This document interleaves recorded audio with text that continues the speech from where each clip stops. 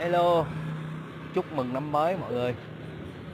Thì à, hôm nay là ngày 31 tháng 1 à, năm 2021 à, nhằm ngày 29 Tết cũng như là 30 Tết. Chuẩn bị bước qua năm Tết Nguyên đán năm 2022 năm nhâm, nhâm dần. Thì nhân dịp này thì cơ quan đi cũng muốn review cho mọi người thấy Việt Nam à, chính quyền Việt Nam họ luôn tôn trọng cái quyền tự do tôn giáo của mỗi công dân như thế nào nha mọi người nha. Thì à, thì đây là um, cái um, từng ờ, từng khu đài Đức Mẹ. Đài Đức Mẹ ở quận à, 12 đường à, Tô Ngọc Vân nha. Thì cái chỗ này thì lần trước thì thơ thơ quan có review một lần rồi. Hôm nay thơ quan để xin review lại nhân cái dịp Tết để cho mọi người thấy. Tức là hôm nay là đêm 30 Tết thì à, bên à, công giáo cũng như thơ quan đó thì cũng à, có phong tục là hay đi đến à, nhà thờ nhà thờ hay là tới những cái tượng đài Đức Mẹ để làm là cầu nguyện đúng không ạ? Đó thì, à, dạ em chào anh chú Phan chào à, Kiều Anh. Thì nhân tiện đó thì cơ quan review cho mọi người thấy luôn để chúng ta phản bác lại cái luận điệu xuyên tạc của những thế lực thù địch ở bên ngoài đó à, họ cho rằng là Việt Nam là không có à, tôn tự do tôn giáo và đàn áp tôn giáo gì đó. Thì cái luận điệu đó là hoàn toàn là xuyên tạc nha mọi người.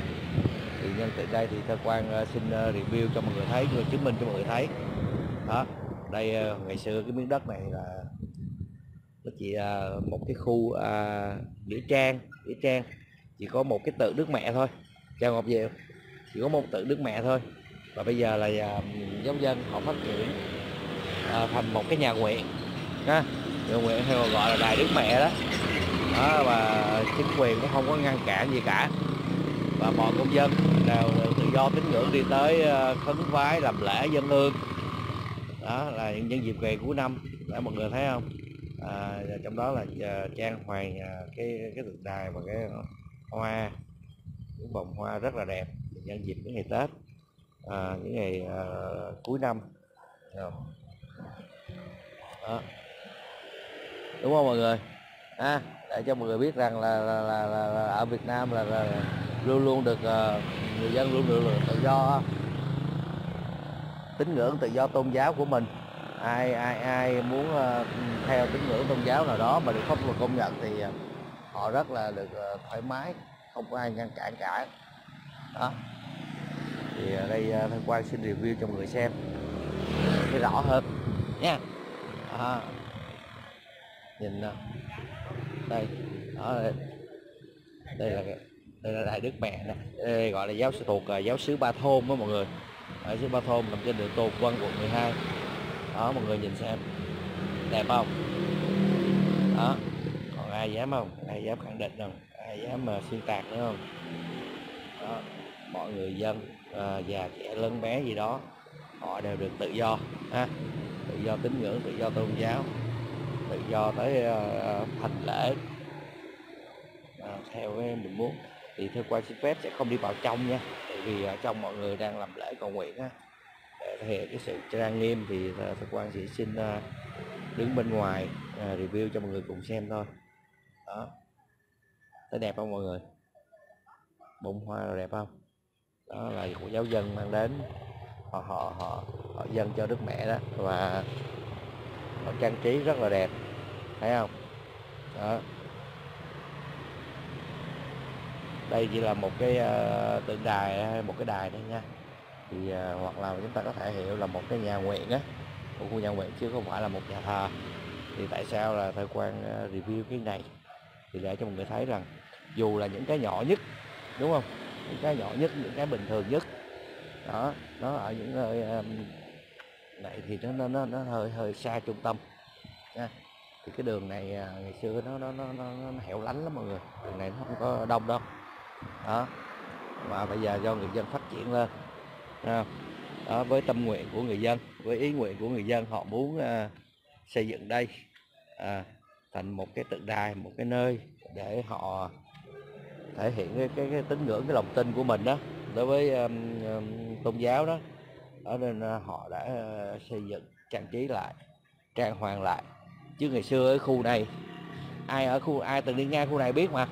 Khu này đây là một cái nghĩa trang nhỏ nha. À, nghĩa trang nhỏ à, giống như hoang vậy đó hoang rồi đó.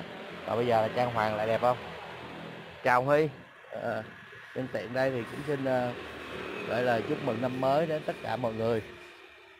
Chúc mọi người đã qua năm mới năm năm, năm dần đúng không? Năm dần. Dần là hổ hả?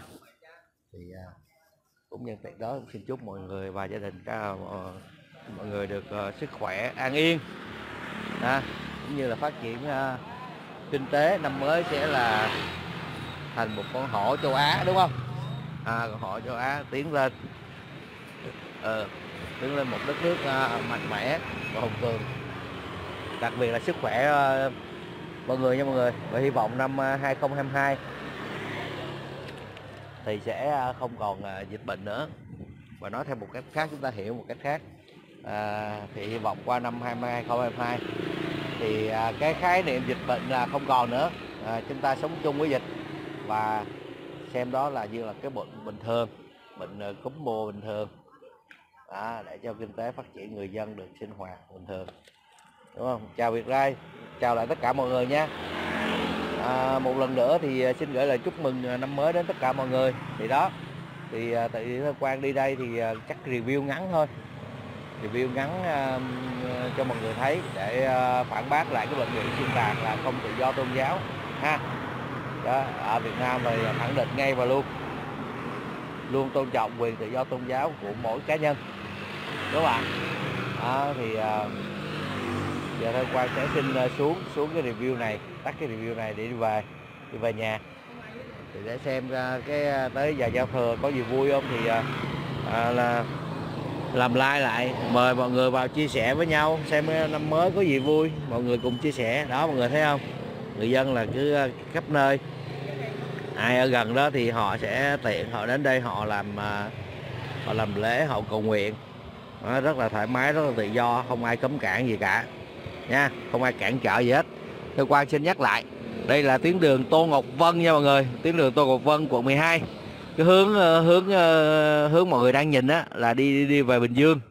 À, đi về hướng Bình Dương đi ra à, cầu ờ, cầu à, cái gì à, Phú Long ha. Phú Long còn đây là hướng ngược lại là đi ra quốc lộ 1A nè. Đó là quốc lộ 1A rồi đi về Gò Vấp đi về à, Hóc Môn hay đi vào các quận khác.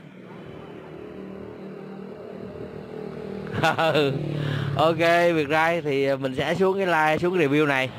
Đó review ngắn cho mọi người thấy là, là về cái ờ, muốn nói về cái tự do tôn giáo ở Việt Nam đó mà.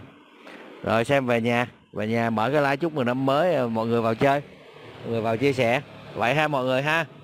Ok xin ờ, hẹn gặp lại mọi người chờ khoảng ít phút nữa xin chào tạm biệt mọi người một lần nữa xin ờ, gửi lời chúc mừng năm mới đến tất cả à, mọi người ở trong à, đã tham gia diễn đàn cũng như ở trên Facebook và cũng như là của người dân trên toàn thế giới à.